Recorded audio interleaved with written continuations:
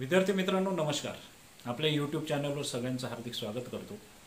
मित्रांनो आत्मविश्वास ही अशी गुरुकिल्ली आहे जी आपल्याला प्रत्येक गोष्टीमध्ये यश मिळवून देऊ शकते. त्यामुळे मित्रांनो आत्मविश्वासाने जर तुम्ही M P S C U P S C परीक्षेला सामोरे गेलात तर निश्चितपणे तुम्हाला यश मिळू शकतं. मग मित्रांनो स्वामी विवेकानंदांच्या शब्दात जर सांगायचं झालं तर स्वामींनी एका ठिकाणी असं म्हटलंय की एक वेळ तुमचा देवावर विश्वास नसला तरी चालेल परंतु तुमचा स्वतःवर विश्वास असला पाहिजे. की मी ही गोष्ट करेलच मी एम पी एस सी परीक्षेमधून अधिकारी बनणारच हा जोपर्यंत आत्मविश्वास तुमच्यात येत नाही तोपर्यंत तुम्हाला यश मिळू शकत नाही मित्र. मग मित्रांनो प्रश्न असा येतो की मग हा आत्मविश्वास आपोआप येतो का? किंवा मग हा आत्मविश्वास जो असतो तो आपल्याला जन्मताच मिळतो का? तर असा प्रकार अजिबात नाही. आत्मविश्वास ही रेग्युलर प्रॅक्टिस किंवा पूर्वतयारीने डेव्हलप होणारी गोष्ट आहे. मग मित्रांनो फॉर एक्झाम्पल आपण बघूया की एखादा सैनिक ज्याला उद्या युद्धात जायचं आहे असा सैनिक जर दुसऱ्या दिवशी युद्धामध्ये फक्त तलवार घेऊन त्या ठिकाणी रणांगणात उतरला तर तो यशस्वी होईल का? अजिबात होणार नाही. त्याच्यासाठी त्याला गेल्या सहा महिन्याची जी पूर्वतयारी आहे जी मेहनत आहे जी प्रॅक्टिस आहे ती गोष्ट फार महत्त्वाची आहे. जोपर्यंत तो मेहनत करणार नाही जोपर्यंत तो प्रॅक्टिस करणार नाही तोपर्यंत त्याला आत्मविश्वास येणार नाही की मी ते युद्ध जिंकू शकतो म्हणून. म्हणून मित्र हो आपल्याला जर M P S C U P S C परीक्षेमध्ये तयारी करायची असेल तर आत्मविश्वास फार फार महत्त्वाचा आहे मित्र.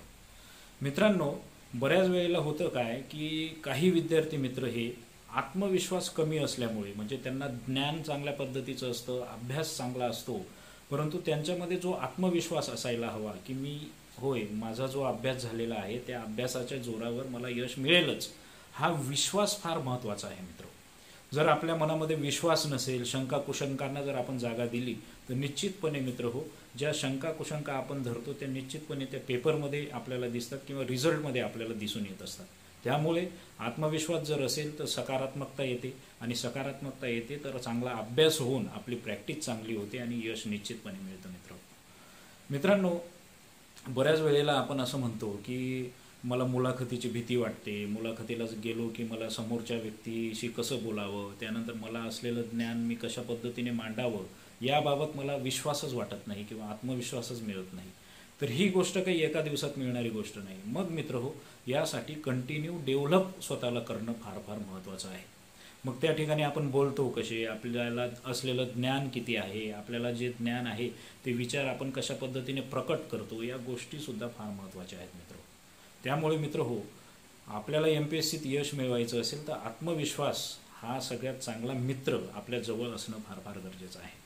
मग मित्रांनो एम पी एस सी परीक्षेची जर तुम्हाला आत्मविश्वासाने तयारी करायची असेल तर निश्चितपणे मित्र हो तुम्हाला स्वतःचे पुस्तकं स्वतःच्या नोट्स त्या वारंवार त्याचं रिव्हिजन करणं वारंवार त्याचा अभ्यास करणं विविध पुस्तकं वाचणं विविध पुस्तकातून ज्ञान मिळवणं. एखादा टॉपिक जर आपल्याला लिहायचा आहे किंवा एखाद्या टॉपिकवरचे सर्वच्या सर्व प्रश्न बरोबर यावेत असं जर तुम्हाला वाटत असेल तर निश्चितपणे त्या टॉपिकची पूर्वतयारी केली चांगली तयारी केली चार पुस्तकामधून त्याचं ज्ञान मिळवलं आणि ग्रास्प केलं तर निश्चितपणे आपल्याला एक कॉन्फिडन्स येतो की होय या टॉपिकवर कसाही प्रश्न आला तर तो मी सोडवू शकेल त्यामुळे मित्रांनो एम पी एस सीची तयारी करत असताना सगळ्यात महत्त्वाची गोष्ट म्हणजे आत्मविश्वास बाळगा. मग हा आत्मविश्वास ओव्हर कॉन्फिडन्स किंवा अति आत्मविश्वासात रूपांतर होऊ नये याची सुद्धा काळजी घेणं महत्त्वाचं आहे.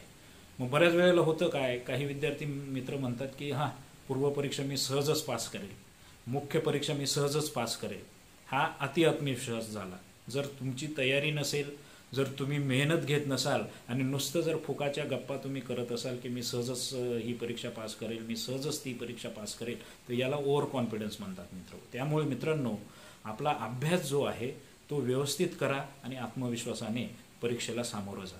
त्याचबरोबर मित्रांनो मुलाखतीची पण जर तयारी करायची असेल तर मुलाखतीसाठी सुद्धा आपण रेग्युलर मित्रांशी कशा पद्धतीने बोलतो एखादा नौखा व्यक्ती आपल्यासमोर आला तर आपल्याला कोणकोणत्या गोष्टींचा संकोच वाटतो या गोष्टी आपण स्वतःच ॲनालिसिस केल्या पाहिजे. आणि त्याचबरोबर जर आपल्याला बोलण्यामध्ये जर संकोच वाटत असेल तर निश्चितपणे मित्र हो आपण आरशासमोर उभं राहून त्याची प्रॅक्टिस करणं गरजेचं आहे. अशा पद्धतीने मित्र हो निश्चितच आत्मविश्वास डेव्हलप करा आणि यशस्वी व्हा. आपल्या सगळ्यांना मी शुभेच्छा देतो. मित्रांनो चांगला अभ्यास करून चांगली तयारी करून आपणही अधिकारी व्हा. सगळ्यांना शुभेच्छा. नमस्कार.